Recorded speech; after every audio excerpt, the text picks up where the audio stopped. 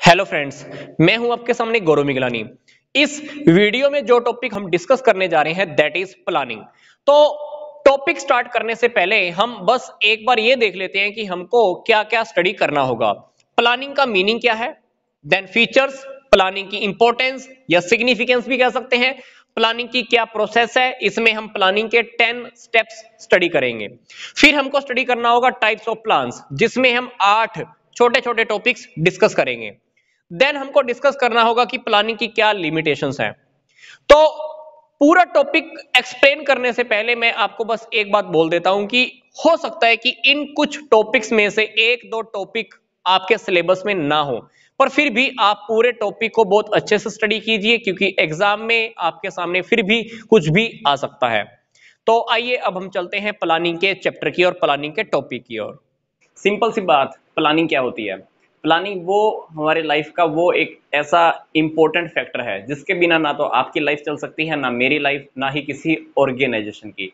Even the अगर आपको घर से भी निकलना है, सड़क पर भी चलना है स्कूल जाना है कॉलेज जाना है, घर का कोई काम करना है तो हर चीज़ से पहले डेफिनेटली हमारे मन में प्लानिंग तो होती ही है। अब उस प्लानिंग को चाहे हम बोलकर करें या मेंटली प्रिपेयर हो जाएँ या उस प्लानिंग को हम कहीं पर लिख लें। That is also a planning मतलब कोई भी काम करने से पहले जब हम उस बात के बारे में, उस काम के बारे में ऑलरेडी अपने आप को यहाँ से सेट करते हैं दैट इज़ द प्लानिंग अब हम बात करते हैं कि हमारी जो ये बुक है बिज़नेस स्टडीज़ मैनेजमेंट का जो ये टॉपिक है प्लानिंग का, उसके अंदर हम ये देख लेते हैं कि प्लानिंग हमारे लिए है क्या। सिंपल सी बात. प्लानिंग अगर मैं आपको सिंपल सी डेफिनेशन दूँ मैनेजमेंट के बिहाव पर तो प्लानिंग मैनेजमेंट का सबसे फ़र्स्ट फ़ंक्शन होता है। सबसे फ़र्स्ट फ़ंक्शन क्योंकि प्लानिंग के अंदर हम ये डिसाइड करते हैं कि हम क्या टारगेट लेकर चल रहे हैं। उस टारगेट को पूरा करने के लिए हमको कौन कौन सा काम करना है। क्योंकि अगर हमारे पास टारगेट नहीं है तो टारगेट के बिना हमारा मैनेजमेंट के अंदर ऑर्गेनाइजिंग स्टाफिंग डायरेक्टिंग और कंट्रोलिंग इन सभी कामों को करने का भी कोई मतलब नहीं रह जाता। इसलिए प्लानिंग के अंदर हम पहले से ही डिसाइड कर लेते हैं कि हमने क्या काम करना है, कब करना है, किसने करना है और किसके द्वारा किया जाना है। ये सारी बातें हम पहले से ही प्लानिंग में डिसाइड कर लेते हैं। मतलब प्लानिंग क्या है? प्लानिंग रियलिटी के अंदर एक इंटेलेक्चुअल प्रोसेस है, एक मानसिक प्रक्रिया है, जिसमें हम एडवांस में ही सेट कर लेते हैं खुद को।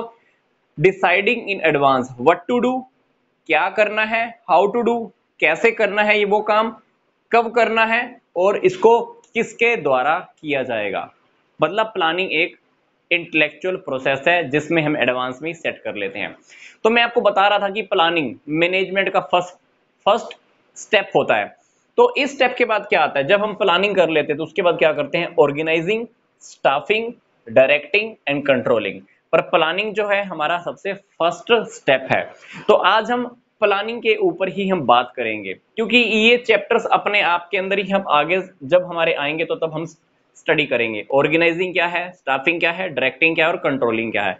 आज हम बात करते हैं सिर्फ़ प्लानिंग के बारे में। तो हम प्लानिंग का मीनिंग पढ़ने के बाद डेफिनेशन देखने के बाद हम ये देख लेते हैं कि प्लानिंग के फीचर्स क्या होते हैं। सबसे पहली बात, जो मैं आपको भी बोल रहा था कि it is a intellectual process planning करना वास्तव में एक मानसिक प्रक्रिया है। आप अपने दिमाग से अपनी बुद्धि का प्रयोग करते हो, ये देखते हो कि कब करना है, कैसे करना है, किसके क्या द्वारा किया जाना है। आप उस काम का, चाहे आप अपने माइंड में एक लिस्ट प्रिपेयर कर लो, चाहे आप उसको लिख के रख लो कहीं पर। तो डेफिनेटली वो एक बौद्धिक प्रक्रिया है, मानसिक प्रक्रिया है, जो आपको दिमाग से करनी ही पड़ती है। चाहे आप फ्यूचर का एक ब्लू रेडी करके रख लेते हो तो डेफिनेटली जो हमारा प्लानिंग है, वो एक इंटेलेक्चुअल प्रोसेस है। दूसरी बात है सिलेक्शन ऑफ़ बेस्ट प्लानिंग से हम क्या करते हैं? सबसे बेस्ट से बेस्ट ऑल्टरनेटिव का सिलेक्शन करते हैं। क्योंकि जब भी हम कोई काम करने लगते हैं तो काम करने के काफ़ी सारे मेथड होते हैं, काफ़ी सारे तरीके होते हैं तो प्लानिंग क्या करता है? आपको सबसे बेस्ट ऑल्टरनेटिव निकाल के देता है, सबसे बेस्ट मेथड हमको निकाल कर देता है।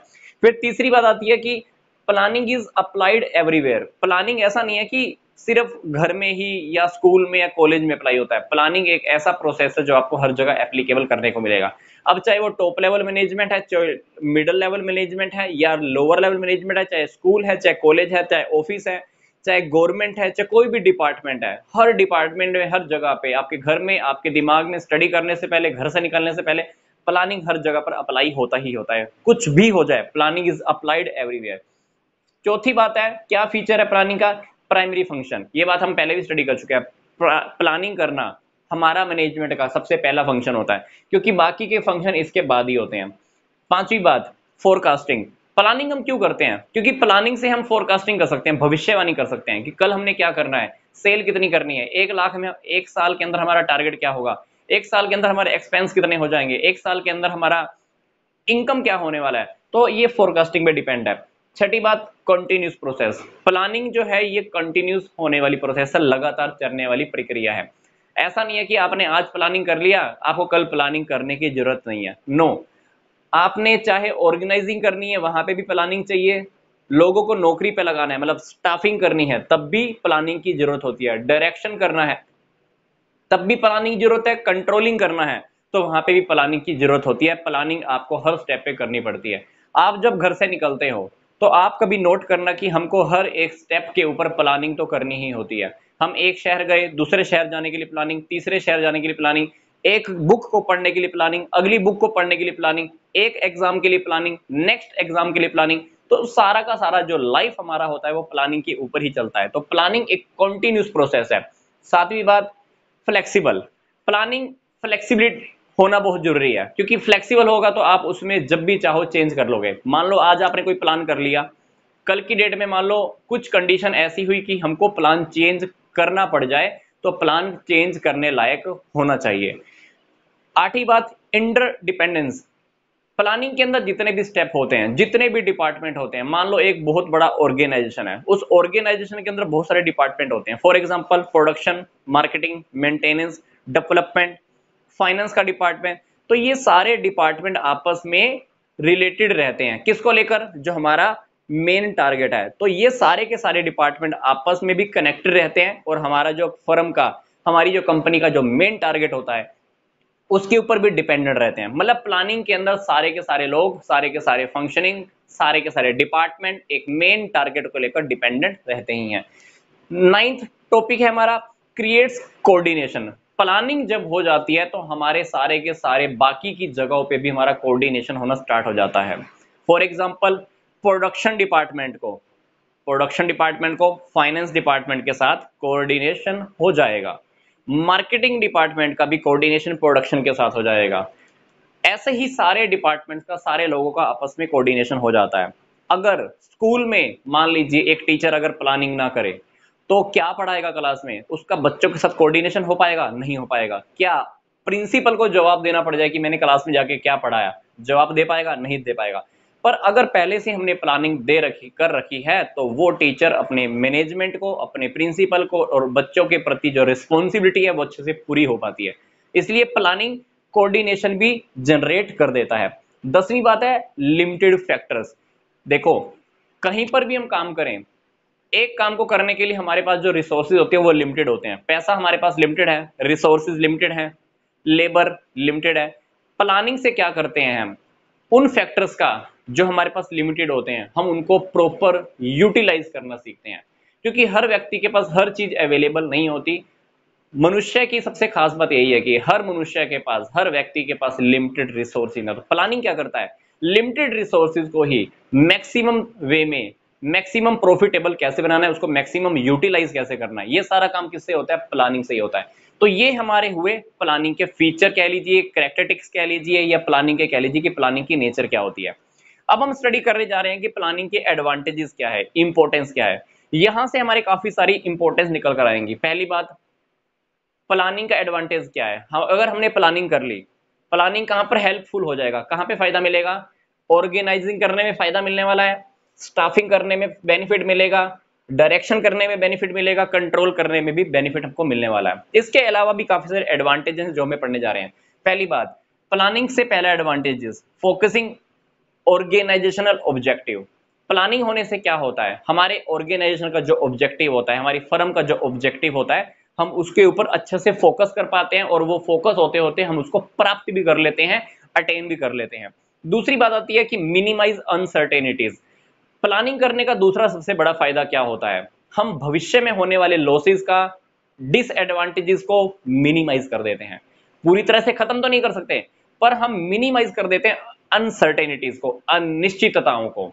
तीसरी बात बैटरी यूटिलाइजेशन बैटरी यूटिलाइजेशन किसका? मैन का लेबर का कैपिटल का मनी का लैंड का, ज़मीन का, हर चीज़ का हम बैटरी यूटिलाइज कर पाते हैं। क्योंकि प्लानिंग के अंदर हम पहले डिसाइड कर लेते हैं कि हमने काम कैसे करना है, किससे करवाना है, कौन करेगा, कब करेगा, किसने क्या यूज़ करना है, किसने क्या नहीं करना है। इसलिए हर चीज़ का अच्छे से हम यूटिलाइज कर पाते हैं।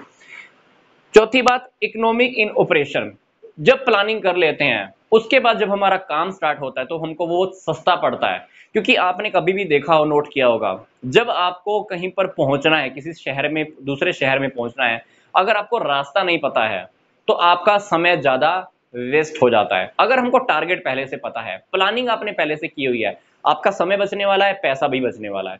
तो ऑपरेशन के अंदर इकोनॉमी आ जाती है, सस्ता पड़ जाता है वो। पांचवी बात हेल्पफुल इन द कोऑर्डिनेशन ये बात हमने यहाँ पे भी पढ़ी थी कि कोऑर्डिनेशन बनाने में सभी डिपार्टमेंट्स का आपस में सहयोग होने लगता है कोऑर्डिनेशन होने लगता है। छठी बात आती है helpful in control for example planning में मैंने ये फिक्स किया कि मैंने मान लो पाँच हज़ार पाँच हज़ार मैंने गाड़ियाँ बनानी है। लास्ट में जब हमारा साल खत्म हुआ तो मेरी गाड़ियाँ बनी चार हज़ार। तो कंट्रोलिंग करने में भी पता चल जाएगा क्योंकि देखो स्टैंडर्ड कितना फिक्स किया था? पाँच हज़ार। प्लानिंग कितने की, की थी? पाँच हज़ार की। रिज़ल्ट कितने का आया? चार हज़ार। तो मैं अब चेक कर सकता हूँ कि मेरा जो एक हज़ार का जो डिफरेंस आया है वो किस कारण से आया है। उस डिफरेंस को पता करूँगा उसके ऊपर कंट्रोल करूँगा ताकि ये गलती दोबारा से रिपीट ना हो। तो प्लानिंग से क्या होता है? कंट्रोलिंग के अंदर भी बेनिफिट होता है और कंट्रोल काफ़ी सारी चीज़ों पे हो सकता है। लेबर के ऊपर हो सकता है टाइम वेस्ट कर रही हो, मशीनों के ऊपर हो सकता है वो वेस्ट हो, हमको मशीन नहीं लेकर आनी पड़े। तो काफ़ी सारी चीज़ों के ऊपर आपका कंट्रोल हो सकता है। कब होगा? जब आपने प्लानिंग अच्छे से की है। फिर साथ ही बात आती है इनकरेजेस क्रिएटिविटी जब आप प्लानिंग कर लेते हो प्लानिंग करने के बाद सब लोगों को ऑर्गेनाइजेशन के लोगों को बता देते हो कि हमने ये काम करना है अगले दस सालों के अंदर। तो हर व्यक्ति के, हर पर्सन के अंदर से क्रिएटिविटी निकल कर आती है कि मैंने काम नए नए तरीके से कैसे करना है। मान लो मैंने आपको एक टारगेट दे दिया कि आपने एक क्वेश्चन घर से करके लाना है। मैं आपको आंसर नहीं बताता। आप क्या करोगे? उस क्वेश्चन का आंसर ढूँढने के लिए दस तरीके और भी खोज निकालोगे। हो सकता है कि उस क्वेश्चन को सोल्व करने के लिए आप हंड्रेड मेथड भी निकाल दो। तो प्लानिंग करने से क्या होता है? क्रिएटिविटी निखर कर आती है। ये हुई हमारे एडवांटेजेस अब हम बात करते हैं कि प्लानिंग की प्रोसेस क्या होती है। बिल्कुल सिंपल टॉपिक है। टेन पॉइंट है स्टेप्स के अंदर। आपकी बुक में हो सकता है कि सेवन पॉइंट हो एट पॉइंट है बट इट्स ओके हम प्लानिंग की प्रोसेस को दस पॉइंट्स में स्टडी करने वाले हैं। पहला पॉइंट है परसेप्शन ऑफ़ अपॉर्चुनिटीज़ देखो, मान लो मेरे मन में एक टारगेट आया। मेरे मन में एक आया कि मैंने एक बिज़नेस स्टार्ट करना है। वो बिज़नेस स्टार्ट करने से पहले मैं क्या करूँगा? उस बिज़नेस की पहले मैं अवसरों की खोजूँगा कि मेरे बिज़नेस को जो मैं स्टार्ट करने जा रहा हूँ, उस बिज़नेस को स्टार्ट करने की मार्केट के अंदर अपॉर्चुनिटीज़ क्या है? क्या मेरा बिज़नेस सक्सेस हो पाएगा? जो काम मैं शुरू करना चाहता हूँ, वो कितना होगा, कैसे होगा, कब होगा? तो सारी की सारी अपॉर्चुनिटीज़ मैं देख लेता हूँ। फॉर एग्ज़ाम्पल लॉकडाउन के टाइम पर कोरोना काल के अंदर क्या हुआ? कंपनीज़ ने देखा कि मास्क और सैनिटाइजर की सेल बहुत हो सकती है। तो उन्होंने प्लानिंग किया होगा सबसे पहले। अपॉर्चुनिटीज़ को देखा होगा कि हमारा मार्केट के अंदर हमारे लिए क्या अवसर है? हम मार्केट के अंदर अभी क्या सेल कर सकते हैं? हालाँकि पास लोगों के पास पैसा नहीं था, नहीं है, फिर भी लोग कम से कम सैनिटाइजर और कम से कम मास्क ज़रूर खरीदने वाले हैं। क्यों? क्योंकि उन कंपनीज़ ने अपॉर्चुनिटीज़ को पहचाना है। तो सबसे पहले हम क्या करते हैं? अपॉर्चुनिटीज़ की परसेप्शन करते हैं, उद्देश्यों का निर्धारण करते हैं टारगेट को फिक्स करते हैं कि हमारा टारगेट हमारा क्या होने वाला है। दूसरी बात ऑब्जेक्टिव्स फिक्स करते हैं। जब हम प्लानिंग करते हैं तो फिर हम ऑब्जेक्टिव फिक्स करते हैं कि मैंने क्या टारगेट पूरा करना है, मेरी कंपनी का टारगेट क्या होगा। मुझे फ्रिज बनाना है स्कूटर बनाना है कार बनाना है वट जो भी है, आप अपने यहाँ पे आके अपने ऑब्जेक्टिव फिक्स करते हो। मेरे ऑब्जेक्टिव क्या होंगे? मैं क्या क्या करने वाला हूँ? कैसे करने वाला हूँ? सब आपने ऑब्जेक्टिव को फिक्स करते हो। फिर प्लानिंग लिमिटेशन देखो, हमारे पास ना हर चीज़ लिमिटेड होती है। मान लो आप बिज़नेस स्टार्ट करने जा रहे हो, पर आपके पास पैसा सिर्फ़ दस करोड़ रुपए है। बिज़नेस भी आपको स्टेट के अंदर करना है, एक ही राज्य के अंदर करना है। तो प्लानिंग के अंदर आप अभी लिमिटेशन का भी प्लानिंग करोगे, अपनी बाउंड्री का, कि आपको इस बाउंड्री से बाहर जाके काम नहीं करना है। दस करोड़ से ज़्यादा आप काम नहीं कर सकते क्योंकि आपके पैसे दस करोड़ है। स्टेट के अंदर ही काम करना है। तो प्लानिंग क्या करनी है? अभी आपको लिमिटेशंस की भी प्लानिंग आपको कर लेनी होती है। लिमिटेड रिसोर्सेज की लगा लो वट जो आप करना चाहते हो। फिर आती है making a forecast making a forecast का मतलब है कि आप क्या करते हो फ्यूचर का भी थोड़ा फोरकास्ट करते हो, भविष्यवाणी कर देते हो। क्योंकि आपको फ्यूचर में ये भी पता लगाना पड़ेगा, आने वाले एक साल के अंदर ये भी पता लगाना पड़ सकता है। ऑलरेडी आपको पता लगाना ही होगा, क्या? कहीं गवर्नमेंट तो चेंज नहीं हो जाएगी। कहीं इन्फ्लेशन मतलब महँगाई तो नहीं बढ़ने वाली है। कोई नई कंपनी मेरे कंपटीशन में तो नहीं आ जाएगी। कहीं कुछ ऐसा प्रॉब्लम तो नहीं आ जाएगा कि मेरा बिज़नेस ही नहीं चल पाए। तो आपको पहले से ही सारी की सारी फोरकास्ट भी करके चलनी होती है। फिर क्या करते हैं? सर्च फॉर ऑल्टरनेटिव कोर्सेज देखो, जब हमने टारगेट फिक्स किया है ना तो उस टारगेट को पूरा करने के लिए हमारे पास काफ़ी सारे ऑल्टरनेटिव होते हैं। तो हमको सारे के सारे ऑल्टरनेटिव ढूँढने पड़ते हैं यहाँ पर आकर कि एक काम को करने के अपने पास पाँच तरीके हैं। अपने को यहाँ पर क्या करना है? पाँच के पाँचों तरीकों को खोज लेना है। एक काम को करने के पाँच तरीके हो सकते हैं। अपने को यहाँ पाँचों के पाँचों मेथड खोज लेने हैं। फिर छठी बात आती है इवेल्युएशन ऑफ़ द ऑल्टरनेटिव अब हमको क्या करना है? जो हमने पाँच तरीके ढूंढे हैं ना, उन पाँचों तरीकों का, उन पाँचों मेथड का आपस में कंपैरिजन करना है। अब हमको ये देखना है कि कौन सा अच्छा है, कौन सा बुरा है, किससे टारगेट पूरा हो सकता है, किससे टारगेट हमारा पूरा नहीं हो सकता। हम यहाँ पे इवेल्युएशन करेंगे, पर अभी तक हमने ऑल्टरनेटिव को सिलेक्ट नहीं किया है, सिर्फ़ इवेल्युएट कर रहे हैं फ़ायदा और नुकसान देख रहे हैं अभी। फ़ायदा और नुकसान देखने के बाद हम क्या करते हैं? सबसे जो बेस्ट ऑल्टरनेटिव होगा, जो सबसे बेस्ट विकल्प होगा आपके पास, सबसे जो बेस्ट वाला आपके पास मेथड होगा, आप उसको सिलेक्ट कर लेते हो। सेवेंथ स्टेप के ऊपर आकर। आठवें स्टेप के ऊपर आकर आपको क्या करना होता है? काफ़ी सारे प्लान भी डिसाइड करने होते हैं। क्योंकि जब आपने टारगेट फिक्स किया तो उस टारगेट को पूरा करने के लिए काफ़ी सारी छोटी छोटी प्रोसेसेस भी फिक्स करनी होती है। फॉर एग्ज़ाम्पल मान लीजिए कि आपने एक कार बनानी है। अब कार ऐसे नहीं बन जाएगी। कार तो आपने टारगेट ले लिया कार बनानी है। पर कार को पूरा करने के लिए छोटे छोटे स्टेप भी आपको लेने पड़ेंगे। टायर मंगवाना पड़ेगा। कहीं से बॉडी लेनी पड़ेगी, कहीं से पेंट लेना पड़ेगा। डिपार्टमेंट बनाने पड़ेंगे परचेज डिपार्टमेंट बनाना पड़ेगा sale department advertisement department finance का डिपार्टमेंट तो एक टारगेट को पूरा करने के लिए हमको छोटे छोटे प्लान भी बनाने पड़ते हैं। नाइन्थ स्टेप के ऊपर आकर हम क्या करते हैं? जो भी हमने प्लान बनाए, जो भी हमने ऑब्जेक्टिव फिक्स किए थे, उसको हम इंप्लीमेंट कर देते हैं। इंप्लीमेंट करने के बाद हम बजट भी बना देते हैं कि हमारा कितना खर्चा होने वाला है। इस टारगेट को पूरा करने से हमारी कितनी इनकम होने वाली है। तो यहाँ पर आके हम इंप्लीमेंट भी करना स्टार्ट कर देते हैं। दसवीं बात है रिव्यू ऑफ़ प्लान्स जो भी हमने प्लान बनाया है अब तक, हमने उसको क्या करना होता है? टाइम से टाइम बार बार उसको चेक भी करना होता है।